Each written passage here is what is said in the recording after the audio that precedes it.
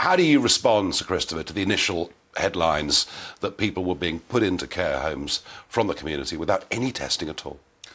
Well, that's, that's, those are the facts. And uh, I asked Matt Hancock in May of 2020 about the situation of care home managers who had refused to take in patients from hospital until they'd been tested. And I asked him if he would congratulate them because uh, by so doing they saved the lives of many of their residents. Mm.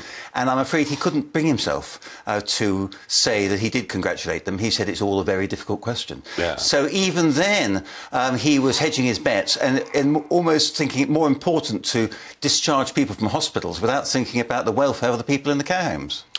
The power that government took upon itself during the pandemic was totally extraordinary, wasn't it? It was without precedent and totally unnecessary as well, because we have something called the Civil Contingencies mm. Act. Mm. The government could have done everything it wanted to under that act. The only difference would have been that it would have been subject to proper parliamentary scrutiny, and they would have had to have been an assessment, an impact assessment of the actions that they were taking, and those actions would have had to have been proportionate, particularly and, and reasonable, particularly taking into account issues around personal liberty. And if those discussions had taken place in the House of Commons against uh, those criteria, then I don't think we would be in the mess that we're in now, because the House of Commons would have been able to scrutinise. So why? So why did our elected members of Parliament vote for the Coronavirus Act, get rid of their own powers of scrutiny, well, well. and allow government to do what the hell it liked? Why?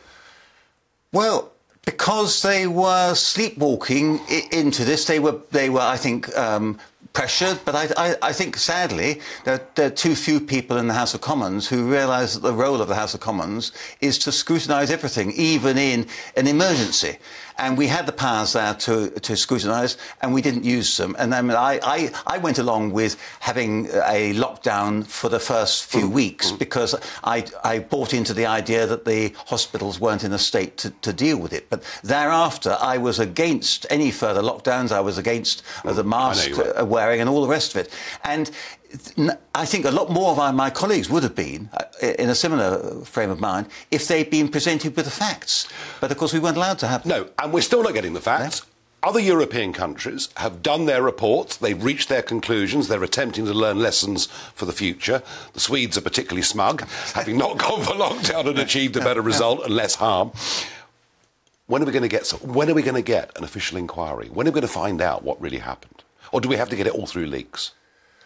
Well, I think if we want to get anything soon, we're going to have to uh, bypass the inquiry because the inquiry is on such a long scale uh, that when are we going to get any results? Although it's been put into separate modules, and there's a possibility that some there may be interim reports on some of those modules. I think we should press for that, um, and that that may give some earlier results on some of the some of the key issues. Well, will you promise our viewers and listeners that you will go back into that chamber and jolly well kick and punch and do whatever you can do to get some of this released? Absolutely, that's what I'm here for.